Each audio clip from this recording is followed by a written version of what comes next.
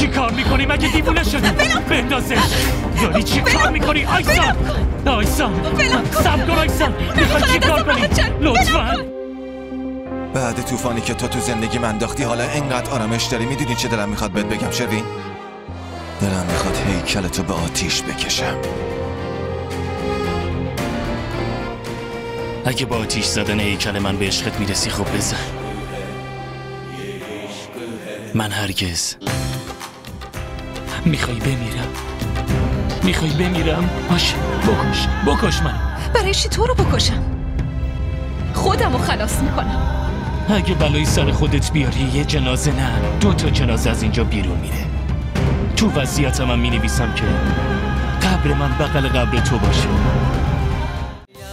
این ویدیو رو لایک کنید کانالمون رو سابسکرایب کنید تا از سریال های جدیدمون هم آگاه باشید.